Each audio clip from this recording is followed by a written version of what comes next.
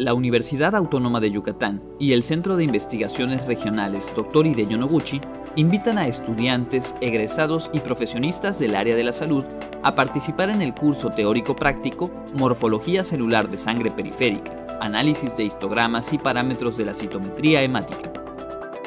Por saber más acerca de lo que es la morfología celular de sangre periférica, esto tomado en cuenta en una prueba tan sencilla como es la citometría hemática, que es una prueba que nos va a decir los valores de la hemoglobina, del hematocrito, de los glóbulos blancos, los glóbulos rojos y, los, y las plaquetas.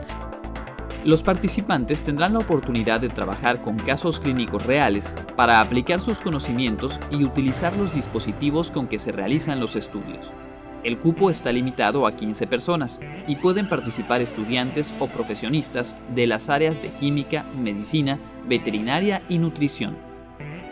El curso inicia el 10 de febrero y concluye el 31 de marzo.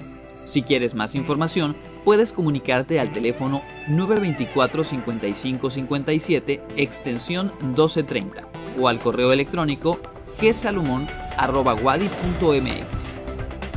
Te recordamos también que el Laboratorio de Hematología de la Unidad Biomédicas del Centro de Investigaciones Regionales ofrece servicios de salud al público en general.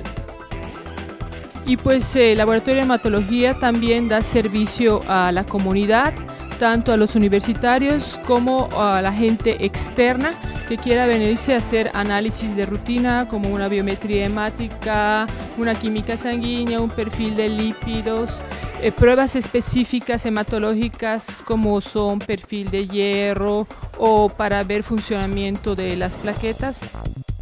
Ya lo sabes, si te desempeñas en el área de la salud y tienes interés en los procesos hematológicos, el curso de morfología celular es una oportunidad que no puedes dejar pasar.